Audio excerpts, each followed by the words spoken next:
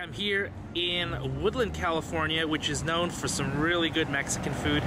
I'm here at one of those places, Las Brasas on Main Street. I'm excited to go in, have some Mexican food. Let's check it out right now.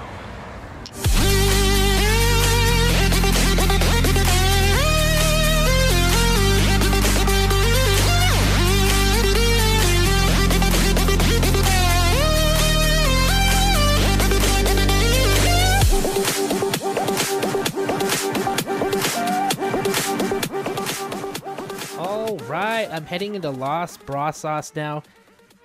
Check it out. It's tacos and salsa. They have all sorts of great Mexican food here.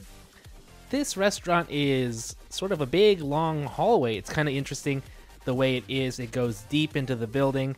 Gotta walk all the way down to the cash register where you get to look at the menu, see all the items that they have, and then choose what you want. And check it out Mexican drinks! I had to go for the horchata. If I'm gonna get Mexican food, we're gonna get some horchata, especially if you can get it right from the fountain. That is awesome. Now, I picked out a couple of tacos. I got the carnitas and the chicken. Ooh, these were the super tacos. That that means they have like guacamole. They have all the fixings on it.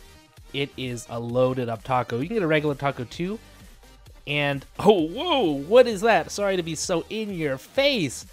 This is the nachos, the super nachos. It really is super. It's humongous. Yeah, I can barely believe it myself. It's huge. I had to get some pictures of this. This is definitely picture worthy, Instagram worthy. These were delicious items. They have other items too, like vampiros, which are like these uh, almost like tostada like things. Their tacos are awesome. Here, just look at me. I'm just enjoying it so much. The meat here is flavored really, really well. I'm like super impressed with how they do their meats here.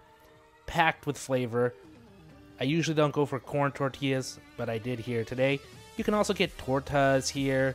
Uh, their quesadillas, they're they're stunning. I, I love their quesadillas here.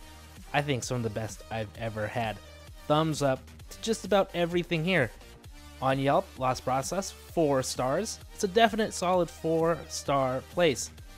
It is just exactly what you want when you're going for tacos or Mexican food. Really, really good. Now they don't have like rice and beans and like traditional stuff like that. It's more like a taco truck type place, but it's well worth a visit. Oh man, that was an amazing lunch. So glad I came. Catch me on another Sacramento Eats. Thank you.